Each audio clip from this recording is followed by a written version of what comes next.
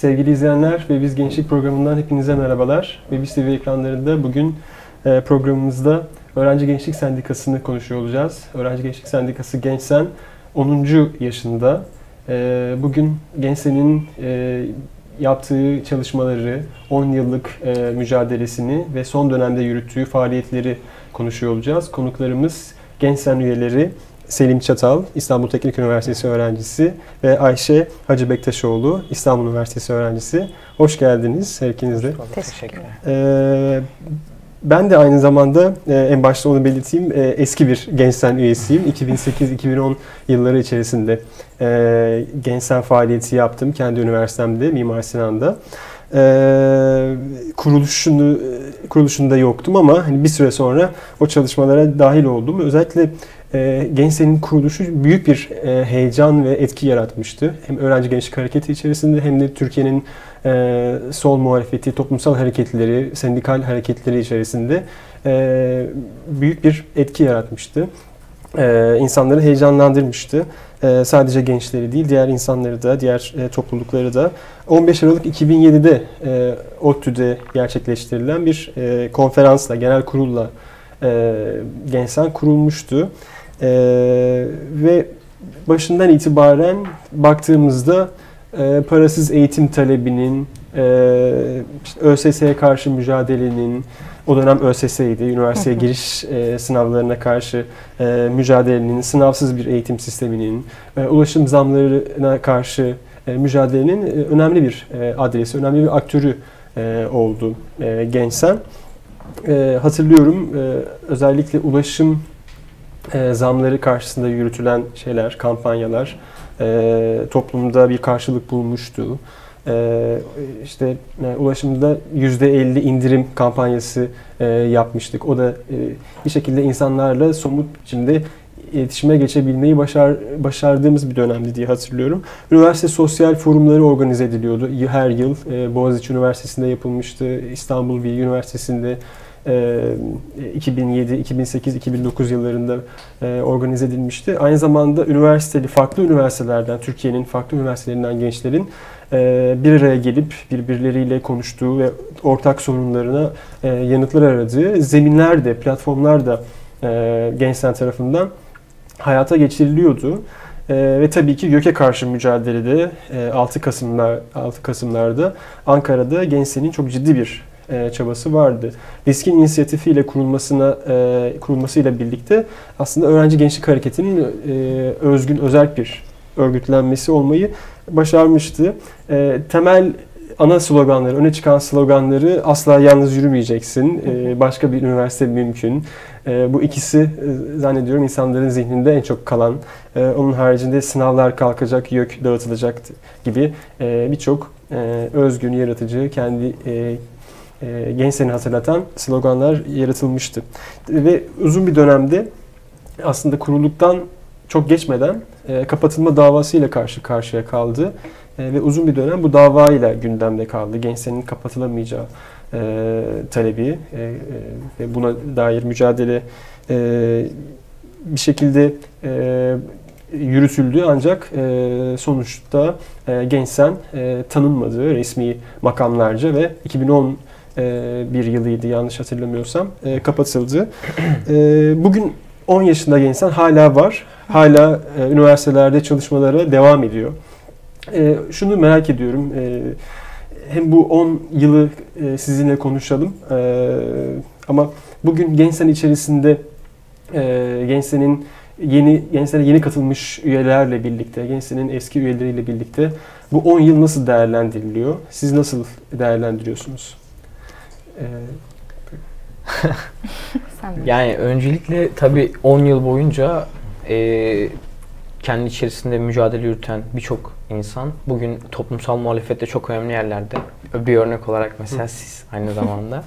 E, Gençsenin mücadele hattı e, Türkiye coğrafyasında gençlik hareketleri açısından çok özgün bir pozisyondaydı. Yani e, 68 döneminde o yükselen dünyada yükselen gençlik hareketleri anlamda Türkiye'de de o filizlenen hareketlere e, hareketler üzerinde bir özgün bir pozisyonu vardı esasında baktığımız yani de, e, sektörel örgütlenme tarzıyla beraber bütünlüklü bir gençlik mücadelesi anlatıyordu kendi içerisinde. Aynı zamanda değişen kapitalizmin o kendini yeniden reorganize ettiği, e, düzenlediği ve tekrardan işte çeşitli biçimleriyle kendini e, ortaya koyduğu durumlara e, durumlara karşı gençliği bir arada tutacak belli aksiyonlar yarattı. Belli formülize etme çabasında bulundu. Yani gençliği esasında teorize etti. Yani bir gençlik örgütünü hadi hep beraber kuralım demekten daha öte presendikalizmi yani işçi sınıfıyla esasında gençliğin kaderinin ortaklaştırıldığı bir pozisyonu öngörerek harekete geçti.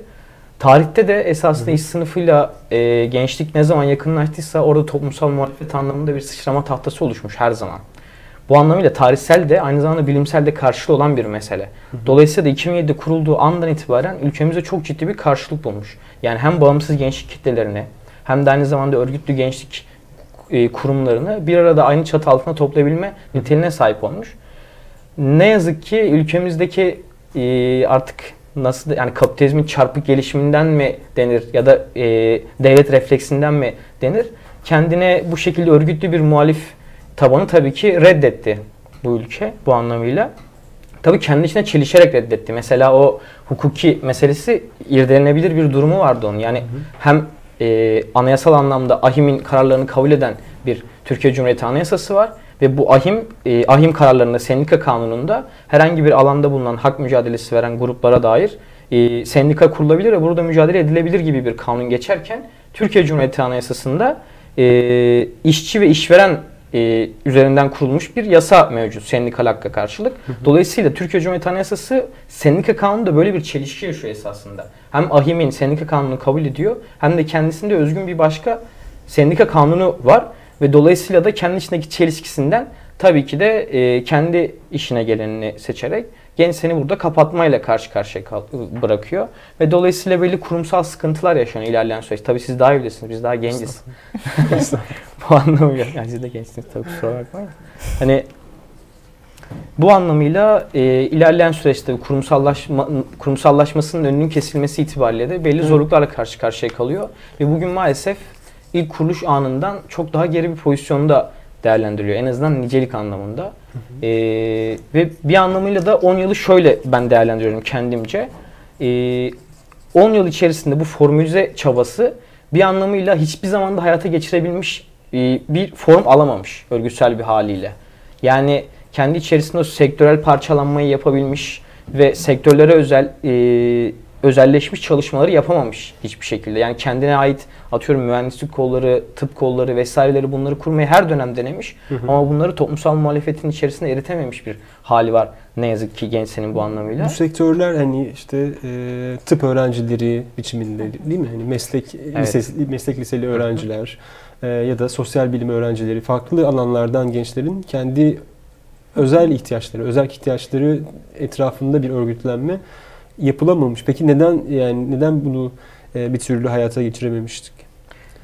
Aslında tam olarak yapılamamış diyemeyiz. Hı hı. E, denenmiş ama oturmuş bir biçimde ilerleyememiş. Hı hı. Yani sonuçta hani bir yandan Selim de bahsetti biraz geçmişten bahsetti ama bugün genç senin ahvalinde hı hı. genel toplumumuzun durumundan bağımsız değerlendiremeyiz. Yani hı. doğal olarak etkilendi. E, ve şey ya bugün o da bahsetti. Nicelik açısından e, geçmişteki durumun birazcık daha gerisinde. Bu yüzden hani genel öğrenci hareketi gibi biraz kendini toparlamak e, derdinde şu anda genç sende. Bu yüzden hani tam anlamıyla oturmuş sektörel örgütlenme yapan birimlerimiz yok şu anda. Ama buna uğraşıyor. Mesela hukuk öğrencilerinin böyle bir çabası var. E, işte mühendislik öğrencilerinin böyle bir çabası var. Ama en nihayetinde şu anda bir toparlanma sürecindeyiz yani tekrar. Hı hı. Bu e, yani kapatılma davası e, meselesi önemli. E, yani bugün hala Avrupa'da birçok ülkede gençlik sendikaları var. Bunlar yasal olarak e, kurulmuş sendikalar. Gençlerin, öğrencilerin hakları için mücadele ediliyor. E, Türkiye'de bir ilk olarak yani aslında kurulan bir e, formdan bahsediyoruz. Yani öğrenci gençlik sendikası birçok gençlik örgütü kurulmuş Türkiye'nin geçmiş mücadele deneyimi içerisinde. 68-78'den e, itibaren öğrenci hareketinin yükseldiği dönemlerde biz böyle bir form görmüyoruz. Yani e, bu açıdan bir ilk olması e, yanıyla önemli. Öte yandan sanki e, yeni gençlerin ve öğrencilerin siyasetle ilişkisini kurmasına dair, o ilişkiyi kurmaya dair yeni bir form. E, tam bir şey değil, e, siyasal organizasyon değil. E, ya da e, öğrenciyi, genci e, kısıtlayan bir topluluk değil. E, yani belli disiplin yönetmelikleri vesaire olan bir topluluk değil. Kendi hakkı için e, somut ihtiyaçları üzerinden üniversitede, kampüste onu e, e, protesto etmeye ya da e, mücadele etmeye, e, söz söylemeye davet eden bir örgütlenme.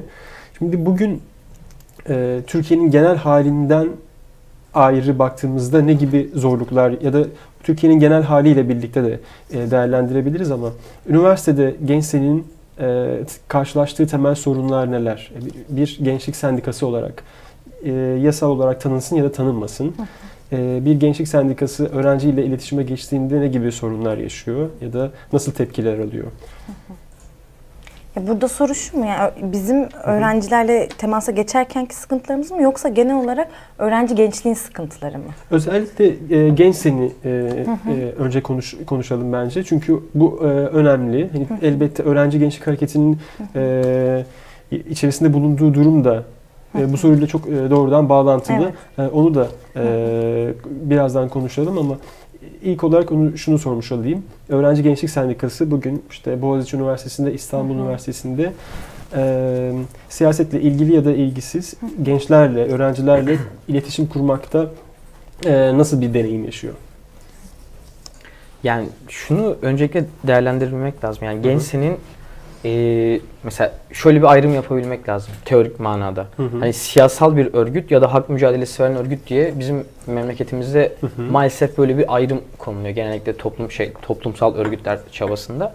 Yani e, biz siyasi e, kanatla e, toplumsal hak mücadelelerinin a, a, ba, e, ayrı şekilde değerlendirilebileceğini düşünmüyoruz. Ayrı, ayrı bir biçimde olacağını düşünmüyoruz.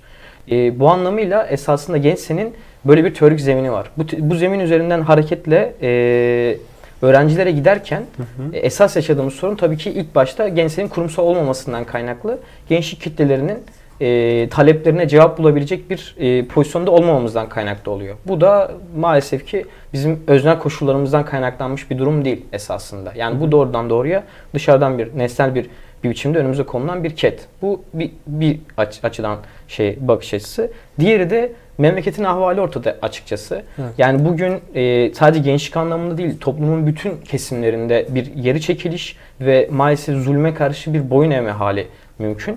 E, tabii ki bilimsel olarak şu da bir gerçek. E, mesela akademi dediğimiz alan en nihayetinde yani bilimi sanatı içerisinde kapsadığı ölçüde baskılanabilir, köşeleri çizilebilir. Yani sınırları olan bir alan değil. Dolayısıyla da baskılandığı ölçüde sürekli bir yerlerden taşıyor.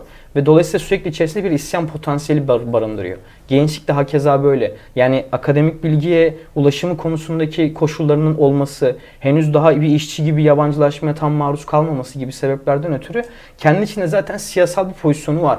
Ama mesela bunu mevcut sistem işte çeşitli başka aktiviteler göstererek mesela bizim okulda özellikle çok şey olur şeyler olur şirketler sponsor olarak gelirler ve aktiviteler yaparlar. Orada mesela e, beğendikleri ya da ne bileyim istedikleri dersi alanları, başarılı olan öğrencileri alırlar ve kalan öğrenciler orada kalırlar mesela atıyorum. Bu etkinliklere yönlendirip onları biraz da sistemin içerisinde koşan, koşması gereken duruma evriltir. Kapitalizmin basit koşulları esasında bildiğimiz şeyler kendi içerisinde ve dolayısıyla siyasallaşmaya yatkın olan gençlik bireylerini bu alanlarda değerlendirerek bir yabancılaşmaya tabi tutuyor. Yani bir ön yabancılaşma alanı yaratıyor. Üniversiteleri bugün bu pozisyona getirdiler. Hı. Yani memleketin siyasal ortamı bir yanda, bir yanda gençliğin bilimsel durumu bunları kaynaştırdığınızda gençlik artık şöyle bir bir ikilem yaşıyor, şöyle bir çelişki yaşıyor.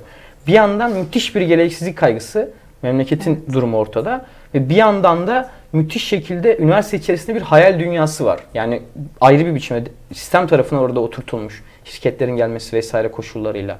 Hani Dolayısıyla hem bir yandan şey yaşıyor, e, geleceksizlik kaygısı yaşıyor. Bir yandan da oradaki o hayal dünyasında mutlu. Hatta bizim ülkemizde şu vardır. İzleyen genç arkadaşlar duyunca gülebilirler yani buna. Bir profesyonel öğrencilik mesleği vardır.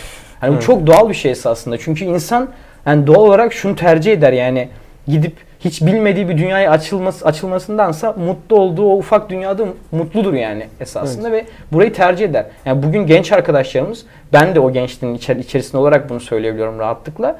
Bu hayal dünyasını tercih ediyoruz açıkçası. Mezun olduğumuzda ne olacağımız belli değil açıkçası. Yani bugün e, ya tabii aslında sorun çok fazla. Yani bugünkü programa çok geçecek minvalde değil, özet bir biçimde anlatmaya çalışıyoruz. O yüzden zorlanıyoruz da biraz. Kusura bakmayın. Ne demek rica ederiz. Ee, yani bu bahsettiğin sorunlar önemli gerçekten. Ee, özellikle bu profes- profesyonel öğrencilik Evet. e, hali e, işte insanların e, o geleceksizlik, belirsizlik e, dehlizine atlamadan, e, atlamak yerine e, o öğrencilik süresini uzatma e, ve bir şekilde esnek bir takım işlerle hayatını, geçimini devam ettirme. Bir yandan aile desteği olabilir, çeşitli burslar olabilir. Türkiye'de gerçi burs bulmak çok e, zor neredeyse ama e, bunun kendisi, yani bu durumun kendisi e, hem öğrenci hareketine, öğrenci hareketinin örgütlenmesinin önündeki zorluklara dair hem de öğrencilerin yaşadığı e, sorunlara dair önemli bir e, gösterge. E, peki bunun karşısında gençsen e, ne yapıyor ve elbette şu an e, bir toparlanma döneminden söz ettiniz ama bunun haricinde ne yapmak lazım? Yani buna dair ürettiğiniz yanıtlar e, var mıdır?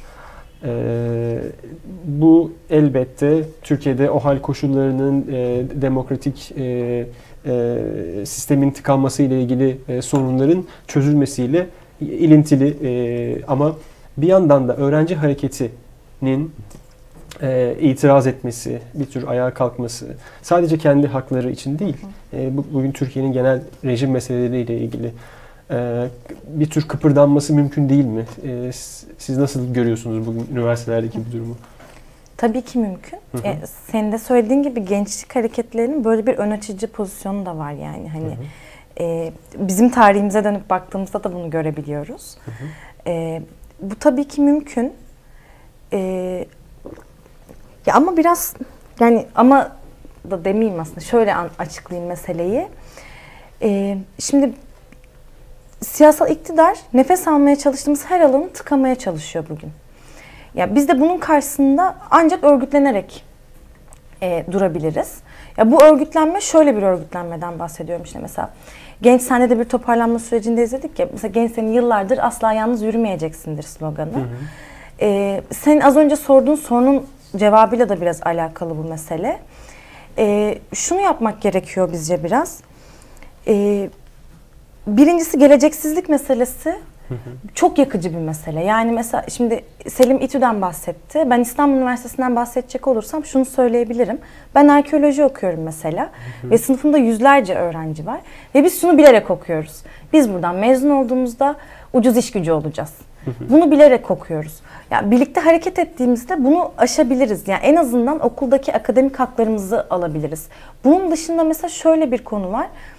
Bunu biliyoruz evet geleceksiz ama bir yandan aldığımız eğitim de bize yetmiyor. Çünkü baktığımızda birçok hoca ihraç edildi akademiden. Yani akademi de çok niteliksiz bir hale getirildi.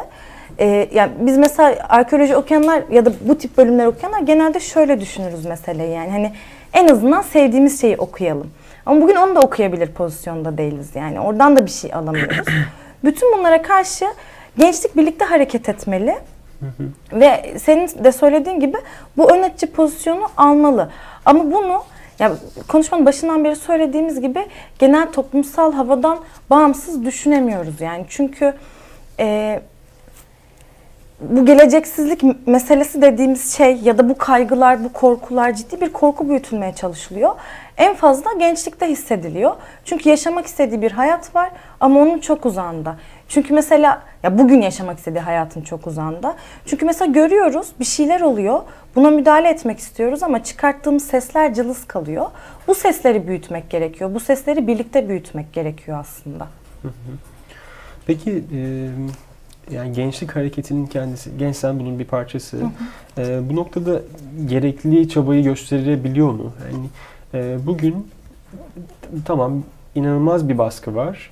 E, ve öğrenciler bu baskı karşısında bir tür geri çekilmiş olabilirler.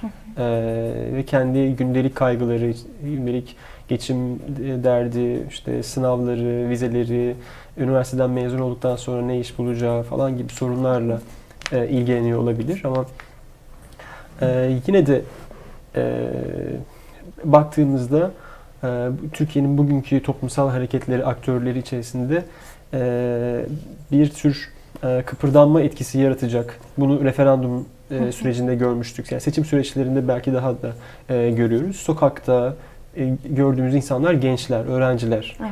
Ama bu insanlar e, ya da sosyal medyada baktığımızda Hı hı. hani o sosyal medya kampanyalarında, hashtag kampanyalarında yine gençlerin öne çıktığını görüyoruz, hissediyoruz. E, ama bu insanlar kampüslerinde e, ya da yaşam alanlarında, üniversitelerinde, liselerinde e, böyle bir e, şeye girmiyorlar, angajmana girmiyorlar. Evet. Ee, bunu aşmak için hem gençsen hem de gençlik hareketleri yeterince e, çaba sarf ediyor mu? Mesela gençsenin bugün e, işte ilk dönemlerinde uzun bir dönem yaptığı gibi e, bütün öğrenci hareketlerini, gençlik hareketlerini kendi çatısında ya da e, beraberinde, yanında, e, çeperinde e, hareket etmeye çağrısı var mıdır?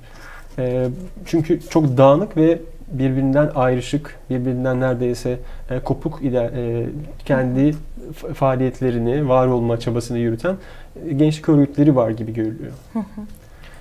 Ya öncelikle şunu söylemek lazım. Yani gençliğin bugün kendi geri çekilmişlik hali, kendi yaşamlarını idame ettirmeye çalışma halleri Hı hı. apolitik bir tavır değil esasında. Bu da bir politik bir tavır. Böyle değerlendirmek lazım bunu. Hı hı. E, genç kitlerin örgütlü mücadeleden uzak durmasında bir sebebi varsa bu da gençlik örgütlerinin yarattığı sebeplerdir esasında. Böyle değerlendirdikten sonra biz yol yürüyebiliriz diye düşündük öncelikle. hı. Yani yeni dönemden bahsedeceksek eğer. Biz esasında yeni dönemimiz içinde şöyle bir değerlendirme yaptık temel biçimde. Biz hani Amerika'yı yeniden keşfetmedik. Esasında elimizde olan bilgileri güncele güncelleyerek bir hat oturtmaya çalıştık.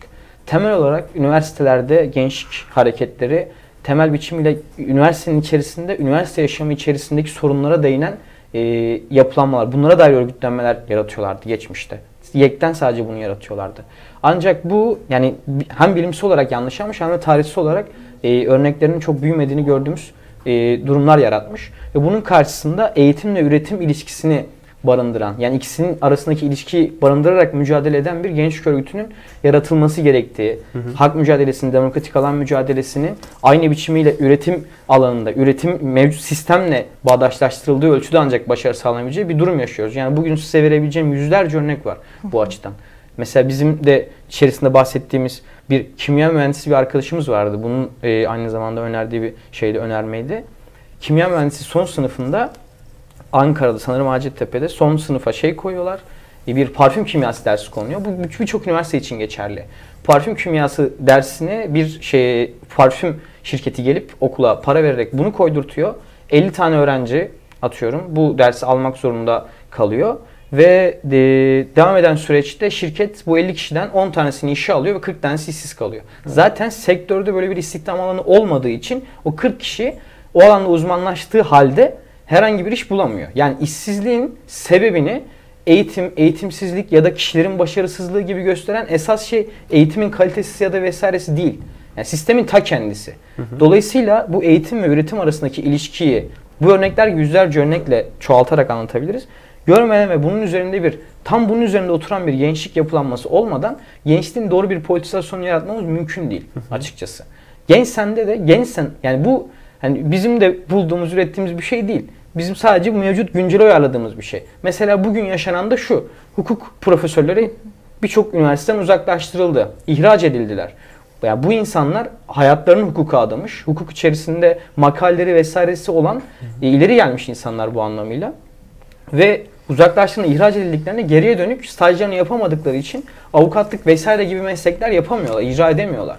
Yani hukukta tillah olmuş insanlar tırnak içerisinde bugün şey yapamıyorlar yani hukuk alanında çalışma yapamıyorlar. Yani mesela iki tane hocamız geçen Kadıköy'de kafe açmış mesela bunu öğrendik şeyde e, işte geçen gün. Mersin'de miydi? İstanbul'da, İstanbul. Kadıköy'de. İstanbul'da. Tabii birçok yerde var yani. Evet. Daha biz Evet, bunu çok çok yeni fazla öğrendik mesela bunu. İşte yani böyle bir durum varken üniversite gençliğinin sorunları yok demek. Bu sorunlar üzerine çalışma yapılamıyor. Kitleler azınlıkta, kitleler politik değil demeyi biz çok doğru bulmuyoruz. Doğru bir örgütlenme yapısının olmadığını açıkçası ortaya koymak gerekiyor. Bu temelde biz üç tane öncül koyduk kendimize. Bir, tabii ki bu şu demek değil.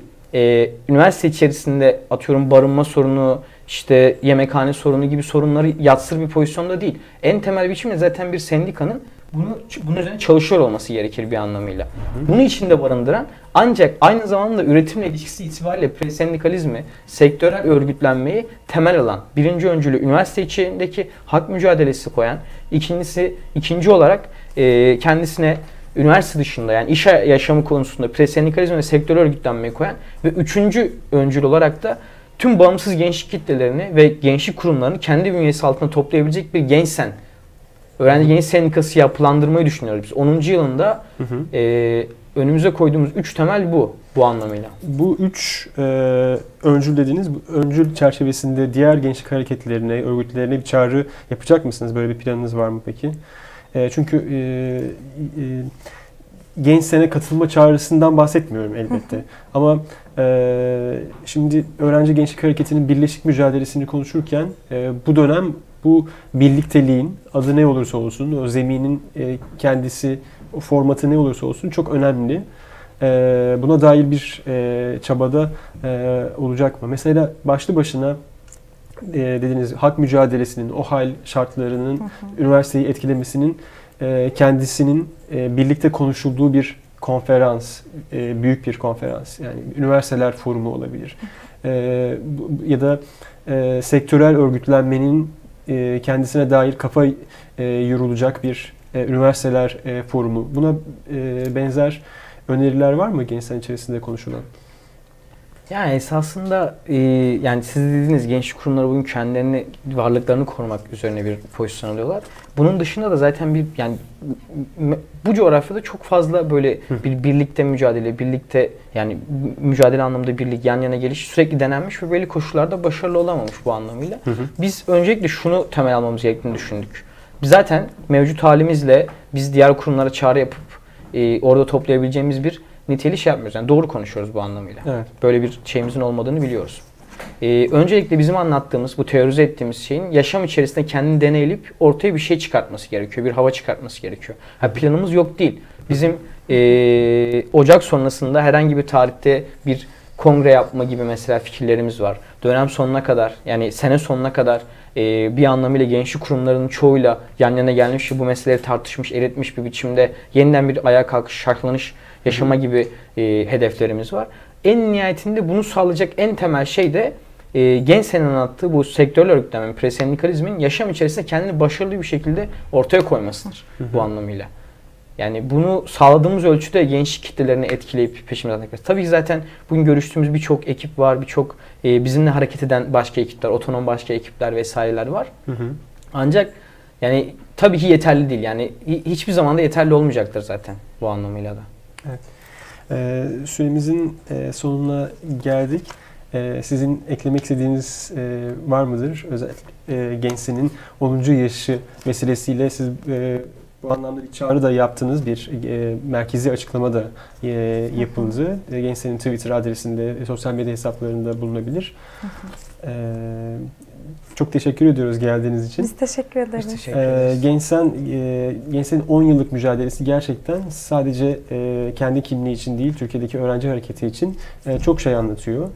E, burada e, Gençsen'i konuşurken son olarak e, Gençsen'in kuruluşunda e, büyük e, emeği geçmiş e, ve Rojava'da yitirdiğimiz Aziz Güler'i e, saygıyla anmış olalım. Onu anmadan geçmeyelim. Umarım ki gençsen önümüzdeki dönemde hem öğrenci hareketi açısından hem de Türkiye'deki toplumsal hareketler, toplumsal mücadele açısından mücadelesini büyüterek devam ettirir. Tekrar kolay gelsin, başarılar diliyoruz. Teşekkür ederiz. Sevgili izleyenler, bugün ve biz gençlikte 10. yaşına basan Öğrenci Gençlik Sendikası Genç Seni konuştuk ve öğrenci hareketini, öğrenci gençlik mücadelesini e, konuştuk. Ee, ve biz gençlik programını burada e, sonlandırıyoruz. Ee, bizi izlediğiniz için teşekkürler. Hoşçakalın.